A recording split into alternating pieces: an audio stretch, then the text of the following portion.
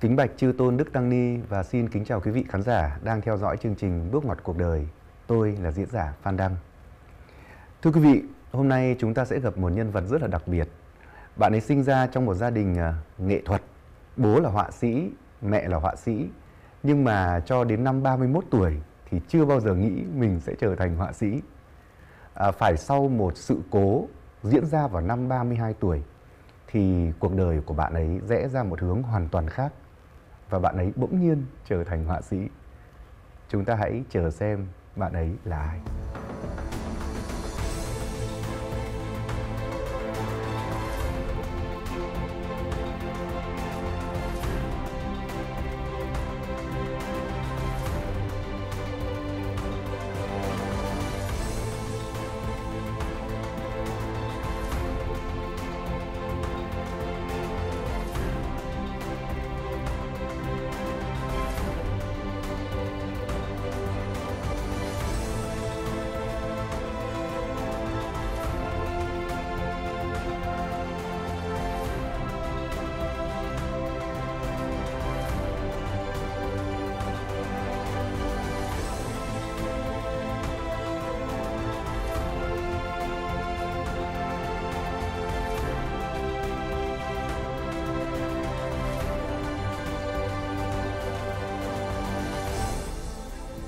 Vâng, xin chào à, họa sĩ Đào Anh Thơ. Và Đào Anh Thơ có một cái nghệ danh là Két.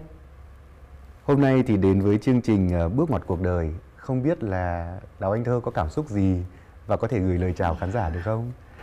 À, xin cảm ơn anh Phan Đăng đã có một lời giới thiệu rất là dễ thương dành cho Két và xin à, gửi lời chào tới tất cả các khán giả của chương trình Bước ngoặt cuộc đời. À, hôm nay Két rất là vui vì được ờ, có cơ hội chia sẻ những ờ, tác phẩm nghệ thuật và chặng đường làm nghệ thuật của Két trong hai năm vừa qua. Thật là đặc biệt bởi vì chúng ta lại ngồi với nhau trong những ngày mùa xuân, những ngày đầu năm nữa. Không biết là trong những ngày đầu năm mới này, Tết đối với Két như thế nào? À, đối với Két, Tết là một uh, thời gian mà Két có nhiều thời gian để suy ngẫm. Bởi vì uh, khi 16 tuổi thì Kết đi du học ở Mỹ và ờ, uh, 12 năm ờ, uh, Kết ăn Tết một mình ở nước ngoài. Hồi ở nước ngoài Kết rất là nhớ Tết ở Việt Nam được uh, hồi còn bé thì được lì xì và được đi uh, ăn Tết thăm mọi người, không khí rất là vui. Chắc chắn là um, những kiều bào cũng như những người đã từng xa quê hương thì sẽ hiểu được là uh, Tết là một cái dịp rất là đặc biệt dành cho người Việt Nam. Anh rất là tò mò đó là Tết ở trong nhà của một họa sĩ thì nó có khác gì so với Tết ở trong nhà của những người bình thường không?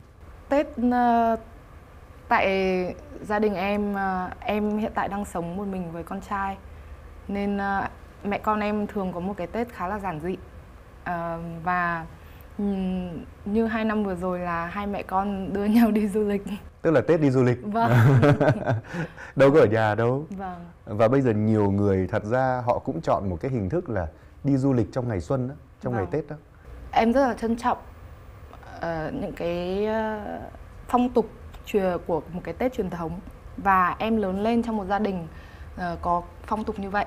Và em em thấy rằng là tuổi thơ của em cũng rất là may mắn có những cái tết như vậy.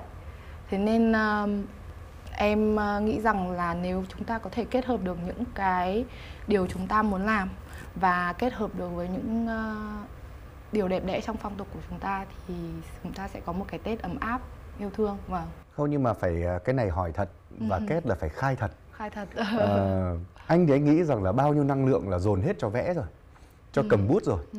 cho nên là chắc không cầm đũa nấu nướng rồi không bắt bếp không nấu cỗ tết đâu dạ, có vâng. đúng không ship ship về à? hay là sang ăn nhờ nhà bố mẹ em uh, hay đi ăn nhờ anh ạ ăn nhờ cho vui ăn nhờ ngày tết là tất vâng. cả đều ờ, đầy đặn mỗi người đều có lộc đúng không vâng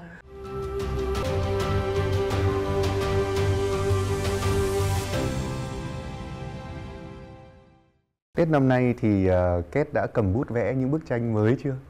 Kết đang làm một cái bức tranh rất là đặc biệt Ờ, để chuẩn bị cho khai, khai trương phòng tranh riêng của Kết. Ờ, bức tranh này là bức tranh ờ, sơn mài nằm trong series American Now có nghĩa là nước Mỹ hiện nay khi Kết sáng tác phát thảo vào năm ngoái và sau đấy thì bây giờ bức tranh này của Kết đang nằm tại xưởng và nó là một cái bức tranh rất là đặc biệt bởi vì uh, đây đây mọi người có thể xem cái uh, phát thảo của bức tranh là cái bức tranh kia anh Phan Đăng ạ. À. Vâng.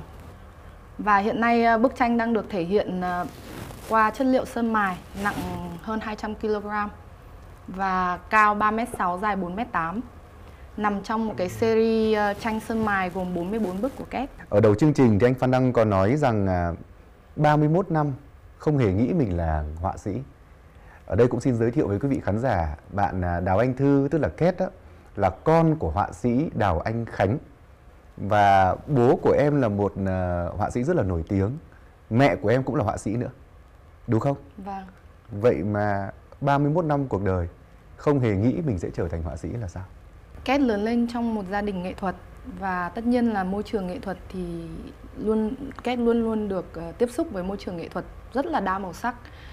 Ờ, bởi vì bố của Kate là một nghệ sĩ quốc tế nên uh, ngay từ nhỏ ờ, uh, Kate đã có sự tiếp xúc với uh, nền nghệ thuật và âm nhạc của uh, đa quốc gia. Uh, tuy nhiên thì uh, từ thuở nhỏ cho đến trưởng thành Kate luôn theo đuổi một cái giấc mơ là làm một cái gì đấy cho riêng riêng mình đi con đường riêng của mình nhưng đến uh, năm 32 tuổi uh, sau một cái biến cố lớn của cuộc đời thì Kết nhận ra rằng ờ, uh, Kết cần có nghệ thuật và Kết cần có uh, uh, cống hiến cho sự sáng tạo để để Kết có cảm giác là Kết được tồn tại Kết được sống Kết được uh, hiến mình cho sự sáng tạo Em còn nói rằng là 31 năm đầu tiên đó, thì em luôn muốn có một cái gì đó của riêng mình, khác bố mẹ mình, không phải là họa sĩ. Vậy thì ít ra lúc đó em đã có một cái gì riêng chưa? Ngay từ thuở nhỏ Kết là một người uh, khá là thông minh nên ờ, uh, Kết luôn tìm một cái con đường riêng và tìm một con đường nổi bật để làm sao mình có thể uh, chứng minh cho bố mẹ mình thấy là mình là uh, mình có thể đi trên con đường riêng của mình, mình có thể đứng trên đôi bàn chân của mình. Ngay từ năm 16 tuổi, uh, sau có một năm học tiếng Anh là Kết đã đạt được học bổng uh, ngày đấy là hơn 200 ngàn đô để học uh, đại học top 20 của Mỹ. Uh, trong người Kết luôn luôn có một cái ngọn lửa là muốn chứng minh bản thân. Nhưng đâu đó trên cái chặng đường đấy thì Kết lại quên mất là vì mình đang cố gắng chứng minh với cả những người bên ngoài những cái yếu tố ngoại cảnh mà mình quên mất cái con người thật của mình ừ. là mình thực sự mình yêu cái gì mình thích cái gì mình cần cái gì điều đấy tự dưng trong một cái quãng thời gian rất dài thì kết kết bị mất cái điều đấy và trong 31 năm mà phải gồng lên để chứng minh với bên ngoài đó thì lúc đó cái nghề nghiệp em theo đuổi nó là nghề gì? À, 16 tuổi em bắt đầu sang Mỹ ừ. và em uh, uh, học ngành uh, kinh tế và ra làm việc cho một quỹ đầu tư của New York. Sau đấy lại uh, tiếp tục uh, sang Nhật và Trung Quốc và sang Úc học thạc sĩ về ờ, ngành kiểm toán và làm việc cho một trong bốn công ty kiểm toán lớn nhất của thế giới. À, em lúc đấy tập trung vào làm tài chính và kế toán. Như vậy là 31 năm tài chính kế toán. Nhưng mà đến 32 tuổi thì xoẹt một cái xé ngang trời chuyển sang làm nghệ thuật nào hãy nói về cái sự cố ở tuổi 32 khiến em có một bước ngoặt cuộc đời uh, em vừa uh, đọc một cuốn sách thì trong cuốn sách đấy có một uh, câu làm cho em để ý đấy là câu sự vô thường làm cho cuộc sống có ý nghĩa thế tại sao cái sự cố mà em nói là em cận tử nó lại ảnh hưởng lớn đến mình đến như vậy? Uh, cũng như những cái bậc vĩ nhân như Steve Jobs đã từng nói death is the biggest catalyst for change có nghĩa là cái chết là cái chất dẫn lớn nhất cho sự thay đổi khi mà mình đối diện với cả tử thần thì mình những cái bản ngã những cái uh, định kiến của chính bản thân cũng như của xã hội tất cả mọi thứ nó trở nên vô nghĩa và nếu như không có gì quá riêng tư và bí mật em có thể chia sẻ xem là cụ thể cái sự cố ở tuổi 32 nó là cái gì và những khoảnh khắc cận tử nó diễn ra như thế nào được không? À, khoảnh khắc cận tử này thì uh, nó rất là nằm sâu trong tâm khảm của Kết và Kết uh, ờ, không thể chia sẻ với mọi người. Nhưng Kết có thể nói với mọi người rằng uh, trước đấy có những cái có những sự kiện uh, ảnh hưởng đến cuộc đời và quyết định của Kết uh, ví dụ như 5 năm trước khi khi Kết bỏ ngành tài chính và quay về Việt Nam thì cái người mẹ người Nhật Bản của Kết sang thăm Kết và mất tại nhà của Kết và Kết nhận ra rằng mất đột ngột. Mất một cách đột ngột do, do có thể là một lên cơn đau tai tim. biến não. À tai biến. Thì ngay tại thời điểm đấy thì Kết đã đưa ra một cái quyết định là bỏ ngành tài chính và quay trở về Việt Nam. Tất cả những quyết định lớn nhất trong cuộc đời Kết đến một cách rất đột ngột và không phải do chủ ý nhưng nó đều liên quan đến ờ, những sự vô thường trong cuộc sống tại vì người ờ, người mẹ Nhật Bản này đối với Kết là một người uh, có tình cảm rất là sâu nặng và uh, sau 7 năm khi sau khi Kết uh, du học xong ở Nhật Bản thì uh, người mẹ này Mari Matsuoka đã sang Melbourne để thăm Kết và mất tại nhà Kết thì cái mối lương duyên này giống như bà mẹ nuôi của Kết đã tặng cho Kết một món quà để để Kết có thể dũng cảm dũng cảm chọn con đường mà mà định mệnh đã đã đã xếp sắp đặt cho mình. Và Kết nghĩ rằng có rất nhiều người không may mắn như Kết sẽ không nhận được cái món quà đấy. Và họ sẽ sống một cái cuộc sống mà uh, có thể là đầy đủ về mặt uh, vật chất và nhiều yếu tố khác. Nhưng cái thực sự cái tình yêu cái uh, ý nghĩa cuộc sống không được thỏa mãn không được uh, không được đón nhận. Họ không hiểu được tại sao họ phải tồn tại.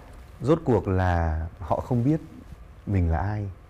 Mà anh nghĩ là với đời của một con người thì câu hỏi ta là ai vẫn là câu hỏi quan trọng nhất. Có những người à, có thể là may mắn biết ta là ai từ rất sớm ừ. nhưng có những người có thể là không may ừ. là nhắm mắt rồi cũng không biết mình là ai. Nếu như bây giờ hỏi em ta là ai thì em có thể à, dõng dạc trả lời tôi là họa sĩ Ted đúng vậy không no. tin chắc chắn không chắc chắn đây là chân ái của em à, ừ. nhưng có phải là sau sự cố của cái năm 32 tuổi đó em lập tức tìm được cái chân ái đó ngay tìm được mình ngay hay là còn phải vùng vẫy trong sự cố rất nhiều rất lâu thì mình mới tìm được ra điều đó em muốn chia sẻ với anh Phan Đăng rằng biến cố này đối với em nó có là một cú sốc rất là mạnh. Ừ. à, nên ngay hai ngày em mất ngủ em hoảng loạn. À, sau đấy em gọi điện cho bố em và lúc em, đó là em đang ở nước ngoài? Em đang ở Việt Nam. À. À, hai ngày đúng ngày sinh nhật thứ 32 của em là 18 tháng 8 2020 2021 lúc đó là khoảng sau lockdown dịch khoảng 3 tháng thì em gọi điện cho bố đúng ngày sinh nhật thứ 32 và em tuyên bố rằng em sẽ trở thành nghệ sĩ. Thì lúc đấy bố em giật mình và bố em hỏi nếu làm nghệ sĩ con sẽ làm gì? Và em nói con không biết, con sẽ làm nghệ thuật và có 7 bộ môn nghệ thuật thì con sẽ làm tất. Con sẽ làm hội họa, thơ ca, âm nhạc, kiến trúc, điện ảnh, con sẽ làm tất và bố em lúc đấy có một chút khó tin lời con gái mình. Và ngay cái ngày hôm đấy em vẫn nhớ là em cầm một cái bút bi thiên long và một tờ giấy và em bắt đầu vẽ những nét vẽ đầu tiên. À, em vẽ hình những cái mũ công chúa. Và khán giả đầu tiên của em thời điểm đấy là một cô bé tên là Sôi 6 tuổi con trai à, bạn của con trai 5 tuổi của em là voi em mới hỏi Sôi Sôi ờ, ơi Sôi thấy ờ, tranh vẽ của cô như thế nào anh Phan Đăng có hiểu lúc đấy em đã 32 tuổi và em đã có rất nhiều trải nghiệm và em uh, là là một người mẹ đơn thân mà lúc đấy em lại vẽ những hình những cái mũ công chúa trông rất ngây ngô như một đứa trẻ 6 7 tuổi vậy. Em với Sôi là lúc đấy là là như là hai người bạn. Thật ra lúc đấy là có một đứa bé trong em sống dậy và bước ra sống dậy và bước ra. Ừ. và em mới hỏi sôi là sôi ơi thấy tranh của cô có đẹp không? Thì sôi cũng hồn nhiên nói tranh của cô đẹp lắm. Thế là em lại cầm bút em vẽ tiếp. Và em vẽ say mê một ngày. Em em 24 tiếng thì phải đến 17 18 tiếng em ngồi em cầm bút em vẽ. Và em vẽ ý tưởng đến một cách ồ ạt và và không nó giống như một cái cơn bão một cái ờ, ngọn núi lửa cứ hừng hực trong cơ thể mình. Thế tại sao mà cái series đầu tiên uh, triển lãm đầu tiên của em gọi là tái sinh? Bởi vì lúc đấy em cảm nhận một được một cái nguồn năng lượng tái sinh. Thực sự là con người mình cái đứa trẻ đã em đã vùi sâu bao nhiêu chục năm thì em không biết nhưng lúc đấy thực sự đứa trẻ của em nó được sống lại và nó được hoan ca hàng ngày được hàng ngày được sáng tạo được uh, vui vẻ là chính chính mình.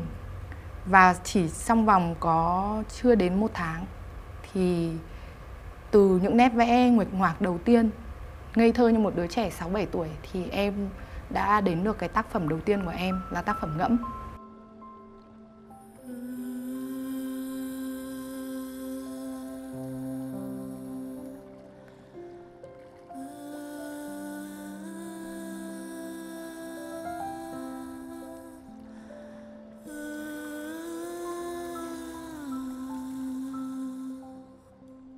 Em cầm cái bút bi vẽ những cái mũ đấy là ngày 18 tháng 8 2021 và ngày em vẽ đến cái tác phẩm ngẫm là ngày 15 tháng 9 2021. Nghĩa là ví dụ một nghệ sĩ phải đi học 5 năm và thực hành nghề uh, thực tập sinh khoảng 10 năm thì có thể bắt đầu bước vào làm nghề họa. Nhưng đối với em cái chặng đường đấy nó được đốt cháy trong vòng một tháng và cái đấy ờ, cái cái cái sự trưởng thành trong uh, hội họa đấy của em chính bản thân em cảm nhận được. Em cảm nhận được đến cái giây phút mà mình biết là mình đã uh, đứng lên được trên hai bàn chân của mình. Em có nói uh, trong những uh, bài báo trước đây là cái thời gian em tập bò đấy chính là một tháng. Và em cảm nhận được cái giây phút mà em đã đứng lên hai bản thân hai bàn chân của mình để để trở thành một người nghệ sĩ thực sự là ngày ờ, 15 tháng 9 và sau đấy thì em có một cái ờ, tuyên ngôn với bản thân là mình sẽ luôn luôn sáng tạo luôn luôn cống hiến. Và bất cứ một cái phát thảo nào của em tới thời điểm hiện tại là em uh, có 200 phát thảo thì bất cứ một phát thảo thảo nào của em cũng đều trở thành tác phẩm. Em đều uh, chuyển từ phát thảo sang tranh sơn mài. Uh, bởi vì em cảm nhận được thực sự là mỗi một giây phút uh, mình được sống nó rất có ý nghĩa. Và em không muốn lãng phí bất cứ một giây phút nào hết. Bất cứ một tác phẩm nào cũng xứng đáng. Nó giống như là những cái uh, ghi lại khoảnh khắc thời gian và cuộc sống của bản thân mình uh, trên cái thế giới này thì nó xứng đáng được trở thành một cái tác phẩm nghệ thuật đẹp bây giờ nghĩ lại đó thì có bao giờ kết hỏi rằng là tại sao những cái bức vẽ vô thức đầu tiên đó, những cái nét vẽ vô thức đầu tiên đó lại là hình của những chiếc mũ công chúa vương miện à? Vương miện vương công miện, chúa. Mà lại không phải là một cái hình khác không? Có bao giờ em hỏi thế không? Hay là à. chưa bao giờ hỏi? Câu anh, hỏi anh này hỏi. của anh Phan Đăng chắc là lần đầu tiên có người hỏi em à, câu okay. đấy em chưa bao giờ tự hỏi bản thân. Uhm. nhưng có thể là lúc đấy em giống như một đứa trẻ. Em uh, như mình trẻ con cái cái sự mơ và sự tưởng tượng của trẻ con rất là thú vị. Không em sai rồi. Lúc đấy em không giống như một đứa trẻ mà lúc đấy em là đứa trẻ.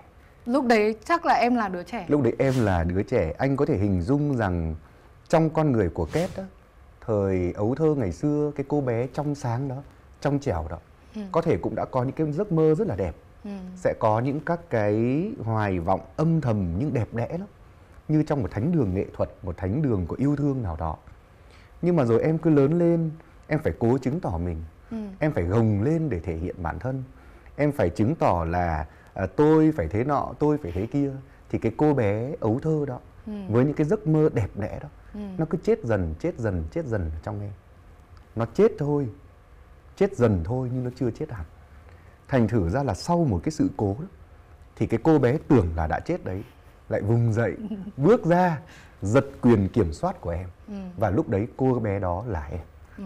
cho nên là những giấc mơ với những chiếc mũ công chúa anh nghe là anh cũng đã hình dung thấy một cái khoảnh khắc rất là kỳ diệu của cuộc đời em ờ, em cũng nghĩ thời khắc đấy rất là kỳ diệu. Ừm, Ờ, và đến thời điểm này em vẫn coi đấy là một món quà rất là lớn. Ờ, vì không không những là mình tìm được cái tình yêu thực sự mà mình ờ, có thể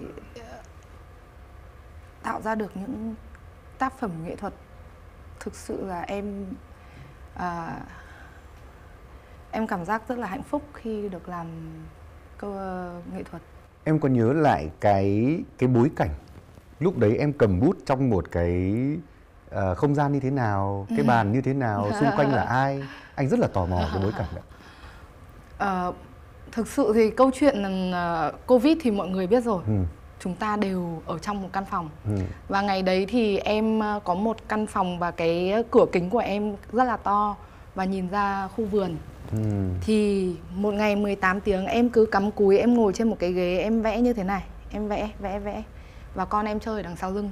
Lúc đấy em mặc dù cái cái cảnh giống như uh, uh, lúc đấy mặc dù mình đang ở trong một căn phòng nhỏ nhưng cái trí tưởng tượng của mình nó vượt rất xa nó, nó đi ra một cái thế giới một cái vũ trụ khác em lúc đấy em hoàn toàn cho mình một cái sự tự do tuyệt đối để được sống trong cái trí tưởng tượng của mình. Và em cảm giác may mắn và em cảm giác rất là hạnh phúc từng giây từng phút một. Và em cứ nó giống như là một cái uh, nguồn năng lượng nó cứ thúc thúc đẩy mình đi thúc đẩy mình đi đi mãi và mình uh, càng đi mình lại càng tìm tòi và mình càng cảm thấy rằng là uh, cái cái những những cái uh, cái hội họa nó thấm vào em và nó trở thành cái như một cái hơi thở. Thì giống như anh Phan đang nhìn những bức tranh của em thì tranh của em ký họa là hoàn toàn bằng bút bi. Và em ờ, ký họa tới thời điểm này hơn 200 bức tranh chưa bao giờ em có một nét sửa. Bởi vì đối với em, hội họa đã trở thành một thứ nó giống như là hơi thở của mình. Nó nó nó giống như một như dòng chảy của cuộc sống. Ờ, chúng ta có thời điểm, ngay thời điểm hiện tại và chúng ta không thể nào quay lại quá khứ, chúng ta cũng không thể nào đi tới tương lai. Vậy thì cũng giống như một bức tranh, những cái nét vẽ của em, nó nó nó ghi lại cái dấu ấn của cái thời điểm và cái thời khắc và cái khoảnh khắc đấy và nó không có sự thay đổi bởi vì nó là như vậy. Tất cả mọi thứ, kể cả em có vẽ đến một nghìn nét vẽ thì nó vẫn nằm trong một cái quy luật của cuộc sống là như vậy. Và ngay bây giờ, chúng ta sẽ thưởng thức những nét vẽ hết sức ấn tượng của họa sĩ Két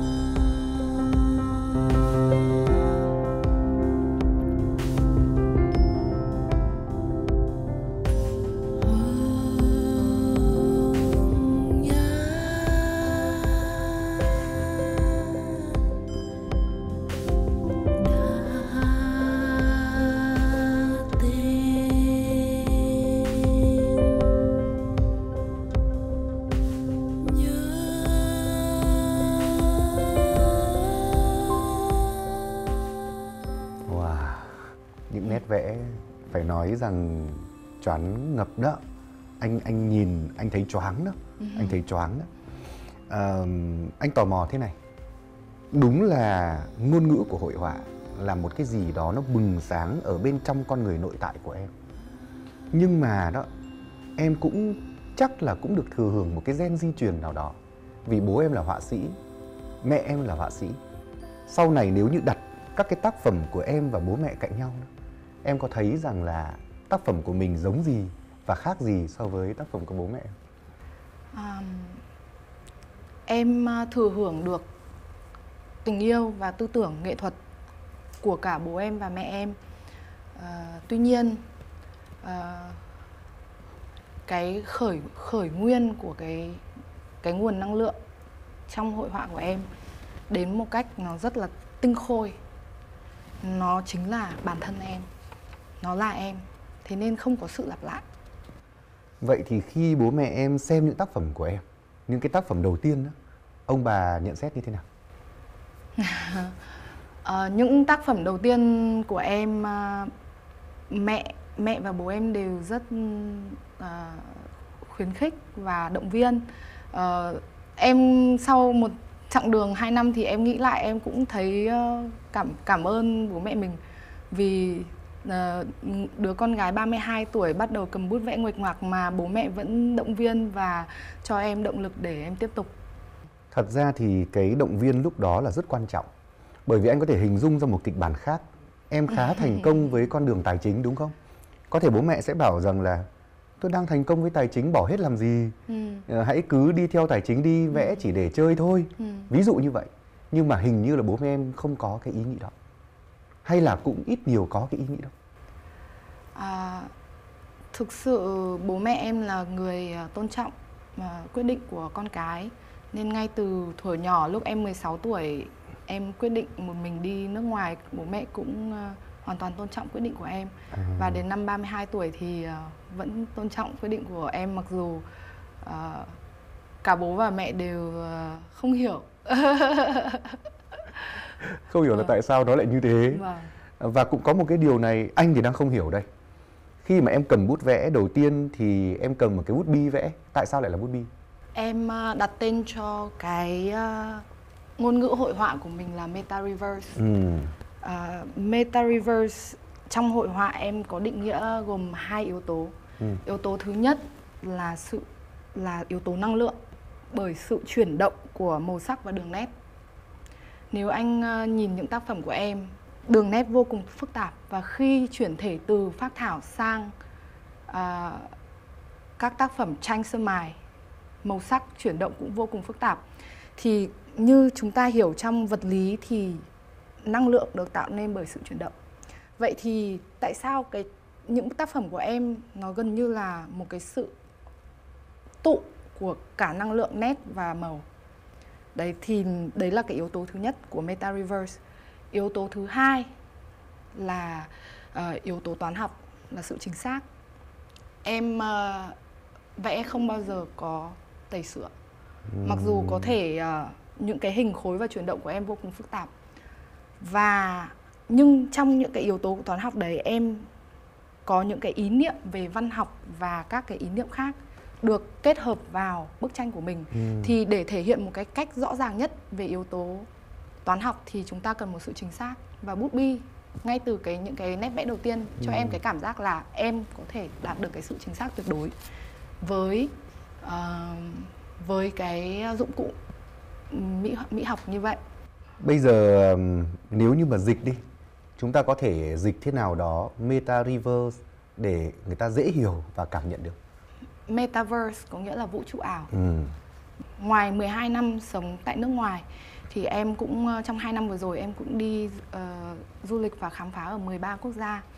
Thì em nhận ra rằng là cái thế giới ảo á đang hút người ta vào hút ờ, cái ờ, tâm thức của con người vào cái thế giới đấy rất nhiều. Nếu anh để ý ờ, rất nhiều các bạn trẻ bây giờ sử dụng ờ, ờ, thời gian trên điện thoại nhiều hơn là thời gian giao tiếp với ờ, bạn bè.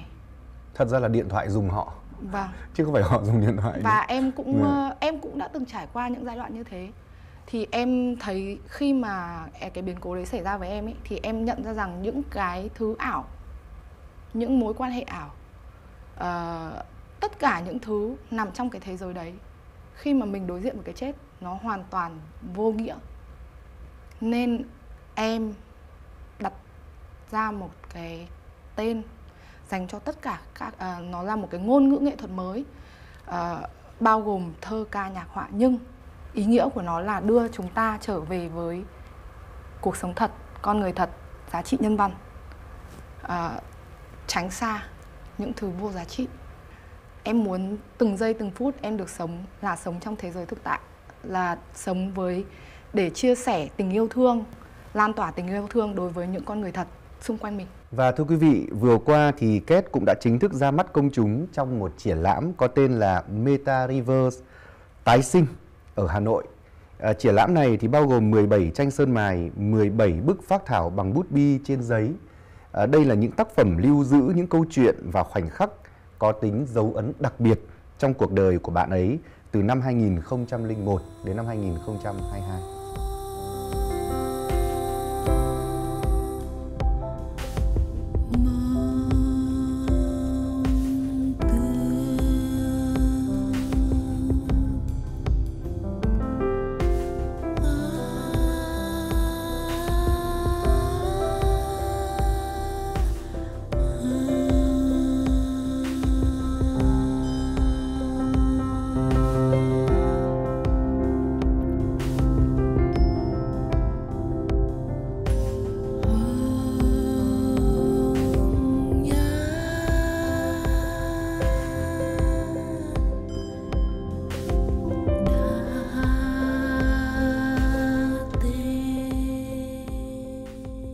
Cả một triển lãm với rất nhiều bức tranh.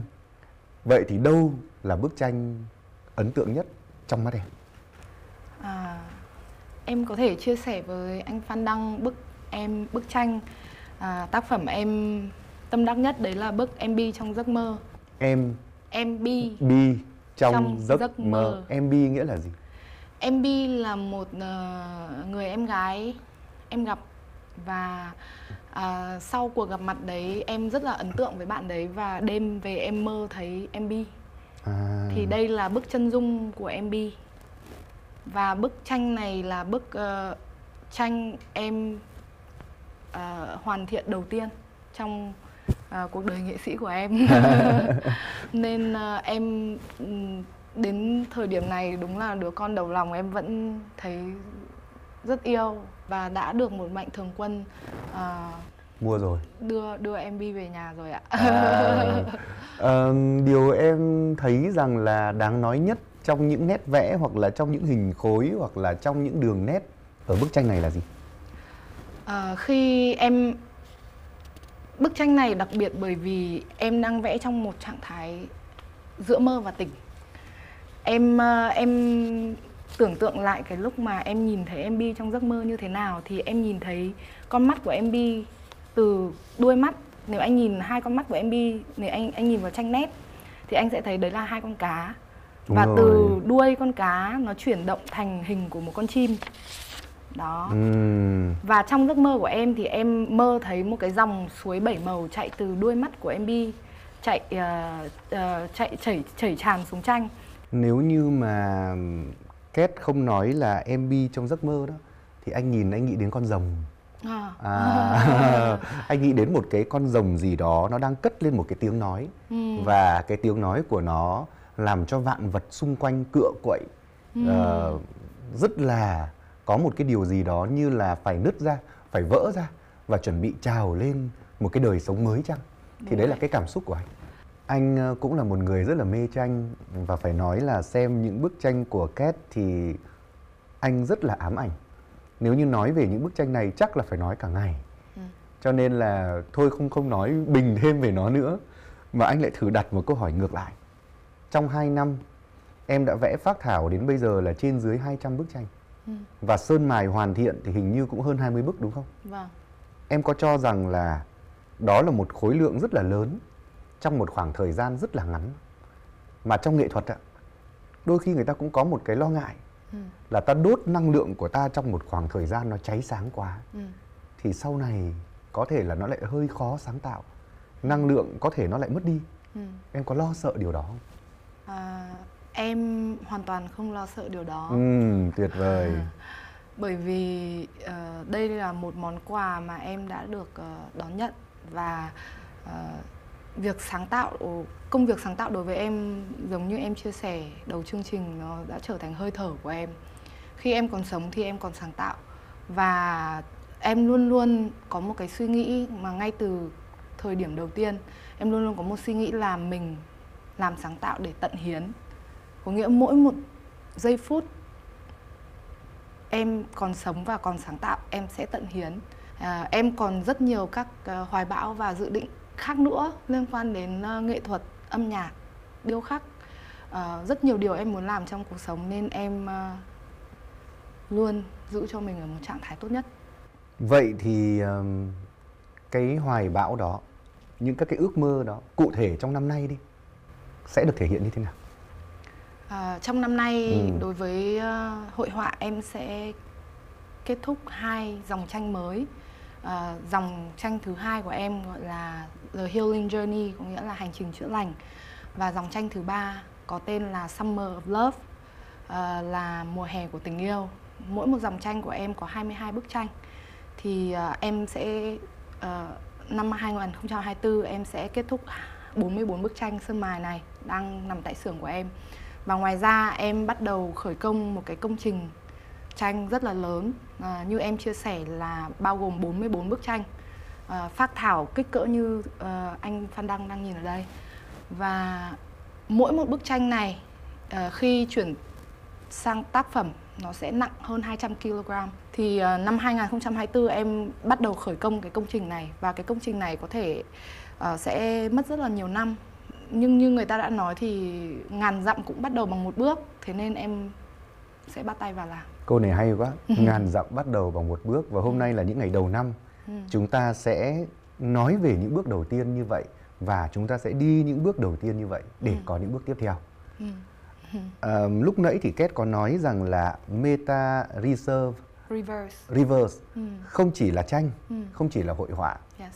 mà còn có âm nhạc này có thể là có cả kiến trúc này có thể có cả thơ ca thì em bây giờ ngoài tranh em có triển khai những các cái uh, yếu tố đó nữa không À, với sự ra mắt đầu tiên của triển lãm Meta Reverse tái sinh, em ra mắt công chúng à, ngoài các tác phẩm hội họa, em ra mắt công chúng 6 bài thơ và 6 bài hát do em sáng tác và biểu diễn. Tức là em tự sáng tác và tự hát. Vâng. À. à, em tình yêu của em dành cho âm nhạc cũng rất là lớn em nghĩ rằng trong một cái thế giới nghệ thuật đủ đầy thì nó các cái ranh giới giữa các cái ngôn ngữ nghệ thuật nó nó là những cái trạng thái, những cái biểu hiện khác nhau, nhưng chỉ cần có tình yêu, chúng ta đều có thể trở thành nghệ sĩ và nhạc sĩ. Thế nên à, năm 2024 em đặt ra mục tiêu cho mình là em sẽ dấn thân vào con đường âm nhạc. Em muốn à, học nhạc cổ điển piano và trên nền tảng nhạc cổ điển, em muốn sáng tác, dùng cái nền tảng của nhạc cổ điển để sáng tác trên một cái màu sắc của âm nhạc đương đại anh bây giờ đang rất là muốn ngay tức thì nghe một câu hát hoặc là một bài thơ của em. Ok thế thì em sẽ ờ, đọc một bài thơ. Ừ. à, bài này là bài ngẫm là bức tranh đầu tiên. À, em sáng tác vào ngày 15 tháng 9 năm 2021 nói về bốn cái giai đoạn cuộc đời của em. Mà kia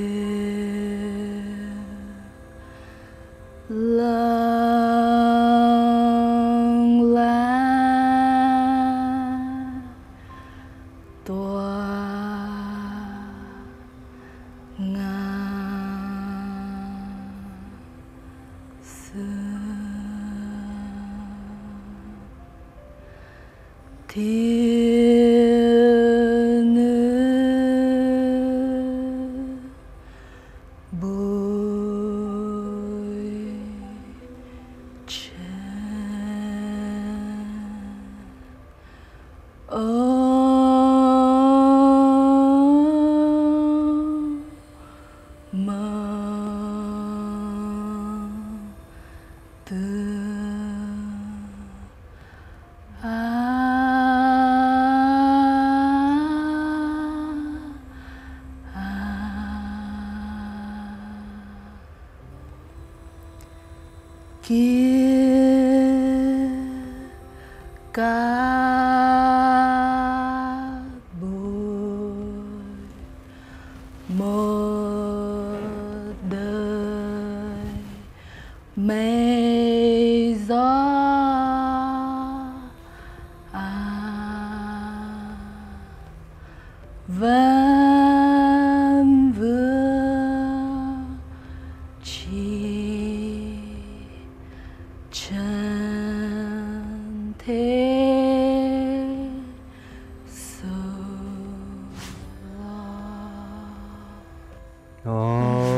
cảm ơn em lần đầu tiên anh được uh, thưởng thức một phong cách ngâm thơ như vậy ừ. có nhiều chỗ là nhìn lời nó nhòe đi ừ. anh nghe không rõ đâu ừ. à, ví dụ như vài chỗ là trần thế vấn vương thì anh nghe được nhưng mà nhiều chỗ nó nhòe đi tuy nhiên á anh có một cái cảm nhận là cũng không cần phải rõ lời luôn ừ. cái nhạc điệu đó ừ. cái nhạc điệu đó nó đã đủ cho anh hình dung về bốn cô gái ừ. Ở trong em em đã trải qua. Ừ. em có thể nói gì về tác phẩm của mình? À, em uh, em uh, với những cái bước đi đầu tiên như vậy thì em đã thử uh, em dùng cả ngôn ngữ của văn học thơ ca và uh, âm nhạc cũng như hội họa để tạo ra một cái trải nghiệm nghệ thuật uh, cho các khán thính giả nhưng uh, em nghĩ rằng là trong tương lai em còn muốn đẩy cái câu chuyện này nó lên một cái thang bậc mới để chúng ta có một cái trải nghiệm nghệ thuật thực sự là thực sự là chạm đến trái tim và cảm nhận của mỗi người. À, chắc là hôm nào đấy anh Phan Đăng à, à, em sẽ mời anh Phan Đăng à, trải nghiệm. Chắc chắn. Chắc chắn anh sẽ trải nghiệm và anh tin rằng là những sản phẩm của em rất là độc đáo và sẽ có một nhóm người đặc biệt nào đó đặc biệt thích à, chúng ta đã nói về rất nhiều chuyện chúng ta đã nói về à, tranh của em về thơ của em về nhạc về những dự án bây giờ thì à, trước khi chúng ta chia tay nhau đó anh muốn trở về một cái mốc một cái mốc một cái mốc mà phải gọi là bước ngoặt cuộc đời thật sự ừ. ở tuổi 32 ừ. À, sau cái mốc đó với tâm thế của một người trải nghiệm rất là nhiều à, Két có kể cho anh là Két đã đi đến 13 nước sống ở nhiều nơi trên thế giới và cũng đã thăng trầm trong đời mình lắm rồi ừ. thì cái điều cuối cùng mà mình chiêm nghiệm được động lại ở trong mình về đời người về kiếp người đó là điều gì chúng ta phải có một phải tìm thấy một thứ ánh sáng, một ờ, ờ, đấng cứu rỗi ờ, một sức mạnh tâm linh để luôn cho chúng ta vững vàng sống trong cuộc sống này một cách đạo đức, tìm đến cái đẹp và những cái giá trị thật sự. Em cảm nhận rằng sau khi đi rất nhiều quốc gia thì tất nhiên lịch sử của nhân loại luôn có đen, có trắng, có thiện, có ác nhưng thực sự là chúng ta đang sống trong một thế giới global, có nghĩa là chúng ta, cái sự kết nối của chúng ta chưa bao giờ trong lịch sử của nhân loại, cái sự kết nối nó lớn đến như vậy. Nhưng cũng vì cái áp lực của sự kết nối đấy, mỗi con người của chúng ta lại bị đè nặng bởi cái sự áp lực đấy. Và chúng ta cần một cái sức mạnh tinh thần để giữ cho chúng ta vững trong cái áp lực đấy đó chính là cái nguồn năng lượng tâm linh ừ. ở sâu thẳm của mỗi người đúng vậy cảm ơn em đã tham gia chương trình bước ngoặt cuộc đời và chúc cho những dự định những dự án của kết trong năm 2024 đều thành công và chắc chắn anh tin là nó sẽ tạo ra một dấu ấn gì đó để uh, chạm đến trái tim của nhiều khán thính giả. Chúc em là những ngày Tết này sẽ có thêm được nhiều những cái quan sát đặc biệt, ừ. những cái cảm nhận đặc biệt để tạo ra những tác phẩm độc đáo của riêng mình. Vâng, cảm ơn anh. Chúng tôi ờ, xin chân thành cảm ơn quý vị khán giả đã quan tâm theo dõi chương trình của chúng tôi ngày hôm nay. Xin cảm ơn nhà tài trợ Tôn Hoa Sen đã đồng hành cùng chương trình. Và nhân một chương trình đầu năm ngồi nói chuyện với một à, họa sĩ trẻ đầy sáng tạo thì chúng tôi cũng xin chúc quý vị sẽ có những nét vẽ thật là đẹp đẽ, bình an trong tâm hồn của mình. Xin chào và hẹn gặp trở lại vào những chương trình tới đây. Hoa Sen Home, sản phẩm được bảo chứng chất lượng bởi tập đoàn Hoa Sen.